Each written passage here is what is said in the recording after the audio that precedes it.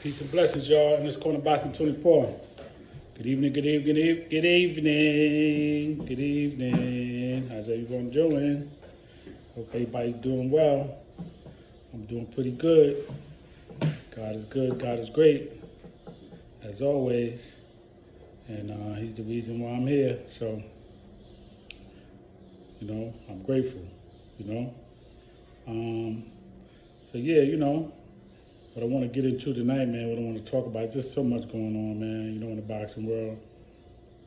Um, you know, of course, we anticipating this fight between Terence Crawford and Errol Spence, and you know, but in the meantime, man, you know, we got a hot, hot lightweight division, man.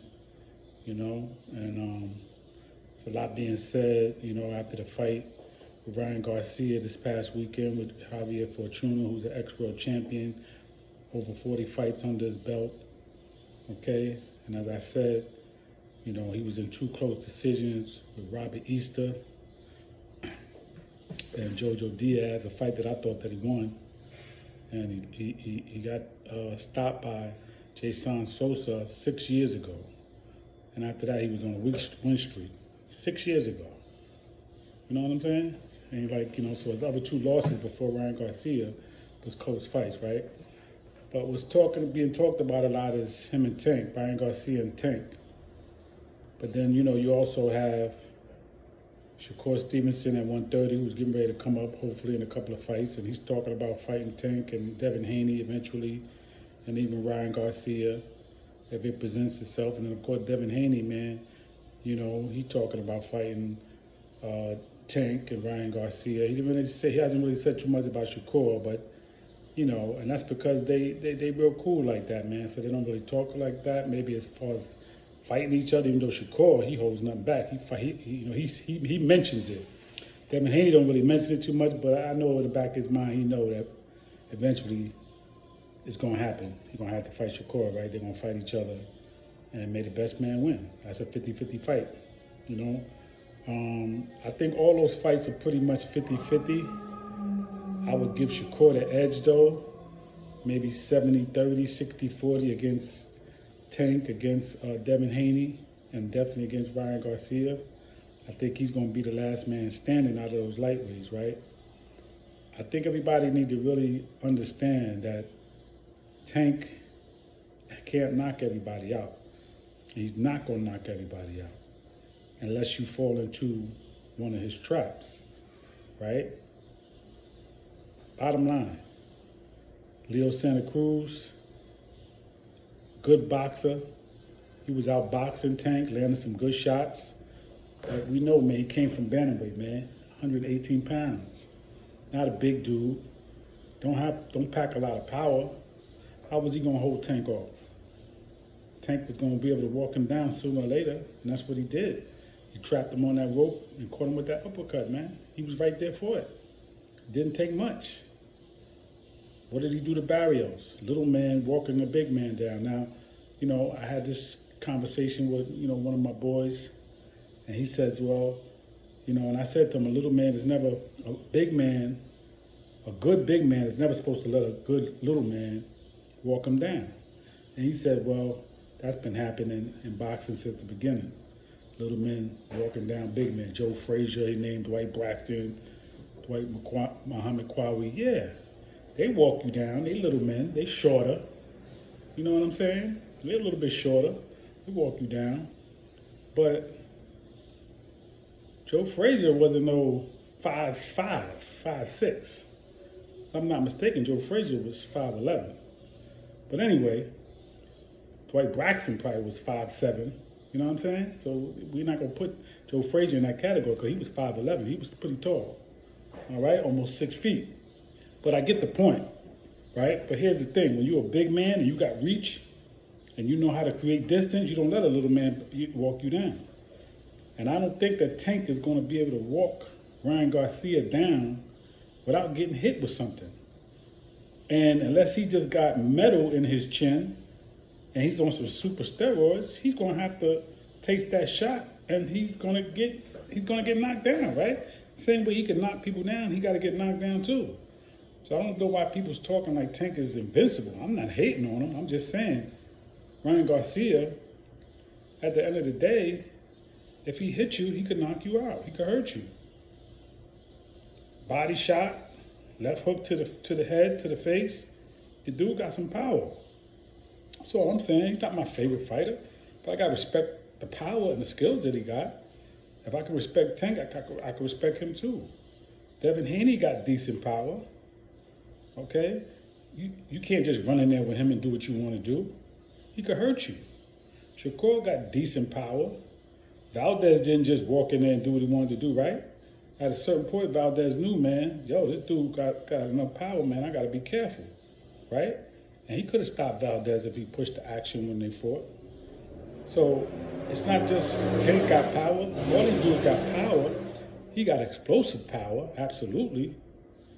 But they all got some strength to them. And technique and speed is what creates that explosiveness. And if you got just decent power and you got the speed and the technique, man, it makes it even better.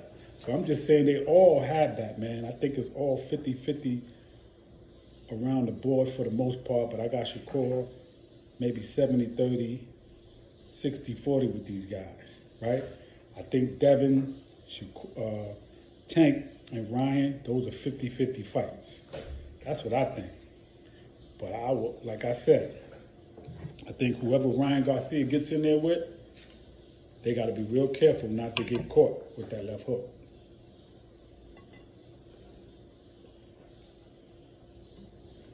I think that left hook that he got is a neutralizer. I think it can change the fight. Okay? That shot that he landed on Fortuna to the body, that was a hell of a shot. That was that, that, that was similar to the shot that he landed on Luke Campbell. Put him down, man. You know what I'm saying? And got back up from a knockdown in that fight with Luke Campbell, right? Last year. That three-piece combo that he put together and stopped Fortuna, that was a nice combo, man. That's all I'm saying.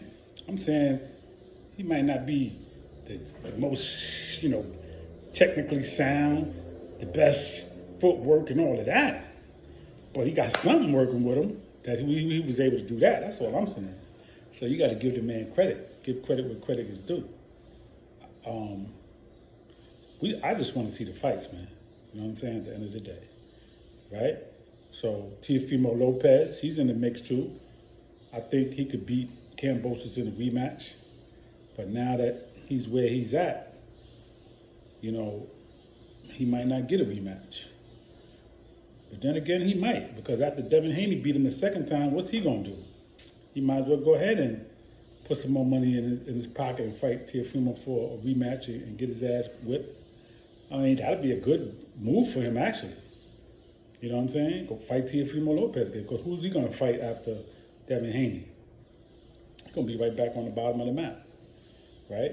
I think Devin Haney should get get that fight with Lomachenko, dust him off, fight this dude in a rematch here in a neutral place, not back in Australia.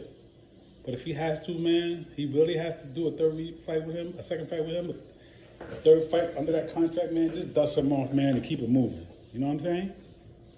Just dust him off and keep it moving, man. But um, Shakur, like I said, he got two more fights, man, at 130, no more.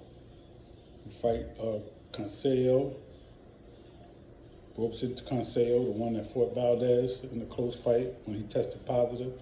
Good fight for him. Maybe one more fight. Maybe he fight uh, uh, Rivera. That'd be a good fight for, for Shakur. Rivera, the one that beat um, Hector Luis Rivera. The one um, that beat Chris Colbert. I think that'll be a good fight for him. Or am I mixing the name up? Hector Luis Garcia or is it Rivera? It's either Garcia or Rivera, but one the last fight that Chris Colbert had where he slept on him and he got beat. I think that'll be a good fight for Shakur. Okay? Um, because yeah, he need to move up to 135.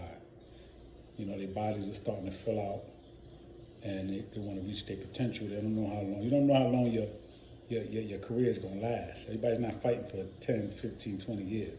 So you got to get what you can get when you can get it. All right? Um, so, yeah, man, lightweight division is on fire. And we just want to see these fights, man.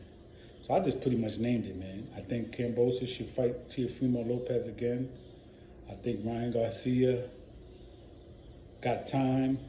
I think this is the time for him to fight Tank because Devin Haney's locked in with two fights and Shakur is locked in with at least two more fights at 130. So Ryan Garcia needs to try to go ahead and get that fight because once Shakur come up and Devin Haney finish his business and one of them get to him, he's gonna be pretty much done. So he better try to really, he really need to try to get that fight with Tank and get it over with because that's what's going down. And Teofimo Lopez, I think he could beat Teofimo. You know, Teofimo Lopez and George Kambosos, man. I think that's a that's a that's a winner right there. A rematch, redeem himself, and um, I think that's what the lightweight division, man, is all about right now. I think those are the fights, man, that's so important. Those are the fights that'll happen, and um, that's pretty much it, man. That's pretty much all I got. Peace and blessings in this corner boxing 24. Please subscribe to the page. Please leave your comments. Please be safe out there. COVID is still here. Numbers are going up, I'm hearing. So just protect yourself, social distance, and be safe. Peace.